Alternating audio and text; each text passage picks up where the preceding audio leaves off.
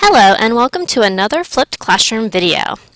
In math, we have been learning about different subtraction strategies, so different strategies that we can use to help us solve subtraction number sentences.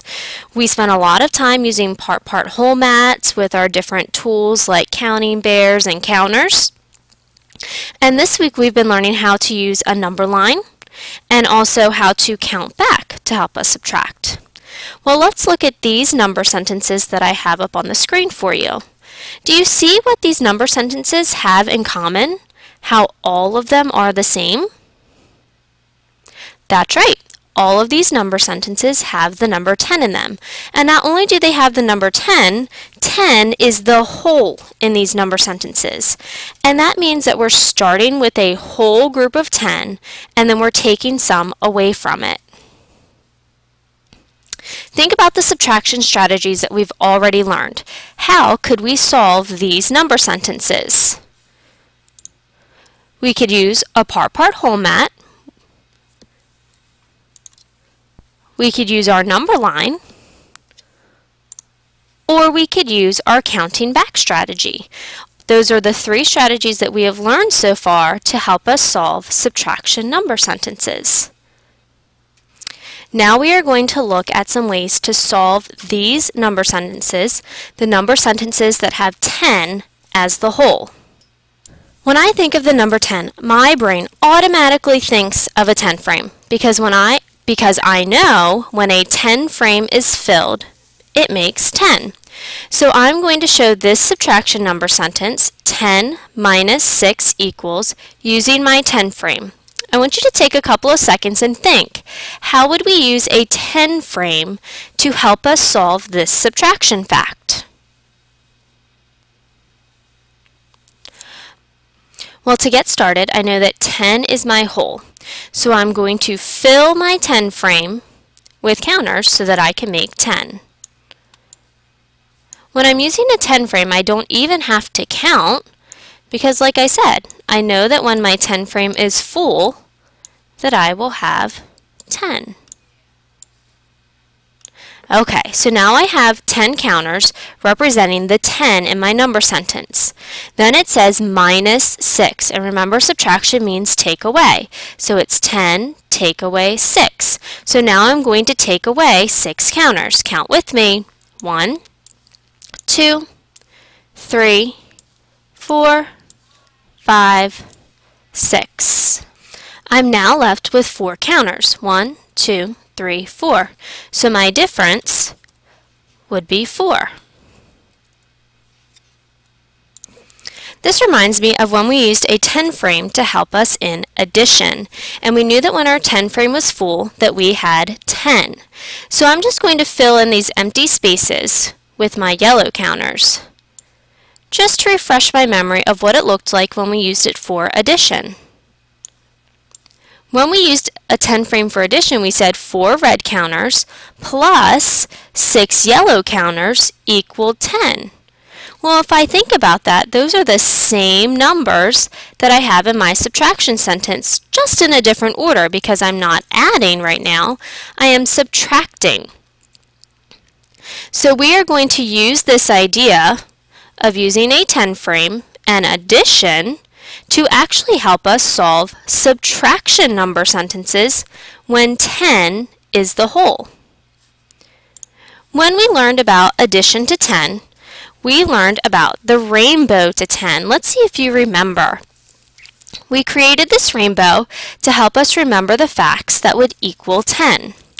So we have 0 plus 10 equals 10, 1 plus 9 equals 10, 2 plus 8 equals 10, 3 plus 7 equals 10, 4 plus 6 equals 10, and 5 plus 5 equals 10. And of course we have the flip facts as well where we can go backwards and do 10 plus 0 equals 10, and so on. We are going to use these addition facts, these rainbow to 10 facts, to help us solve our subtraction sentences when 10 is the whole. In order to have this way of thinking help us solve these subtraction number sentences, we have to think about related facts. Remember, related facts use the same numbers. Okay, so if I'm thinking about that, I want to use the same numbers. So again, if I'm trying to solve 10 minus 6, my brain needs to think of a related addition number sentence that can help me easily find the difference. So remember, if it has to be related, that means it must have a 6 and it must have a 10. So I'm going to go over here and look. Look, here it is. The way to make 10 was with a 6 and a 4. So I'm going to circle that fact to remember it.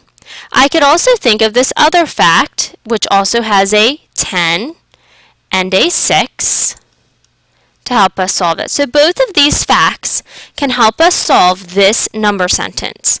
If my brain already knows that 4 plus 6 equals 10, or that 6 plus 4 equals 10, then I can easily find out the difference for 10 minus 6. I just have to use the third number in this problem. So I've already used the 10, I've already used the 6, so that leaves the 4. So that shows that 10 minus 6 equals 4. And that's what we figured out on this slide as well. And again, I started with 10 counters on here, and when I took away 6, I was left with 4. So the reverse of that, in addition, would be 4 plus 6 equals 10. See how that works? I can use what my brain already knows to solve these problems quickly. So basically, my brain is just thinking 10 minus 6 equals, okay, so what do I have to put with 6 to make 10? and that's 4, so that gives me a difference of 4. Let's look at another one. It can be kind of tricky. So here I have our rainbow of 10 again to help us remember those facts. And like I said, you may already have these facts memorized, and that is the goal. If you already have them memorized, you'll be able to find out the answers much quicker. If you don't have these rainbow to 10 facts memorized, then you can start using the other strategies that we learned, like the part part whole mat or the number line or counting back. You can use any strategy you would like to solve subtraction number sentences. This is just a strategy that can help you get the answer quicker if you already have these memorized. So let's look at our new problem. 10 minus 2 equals.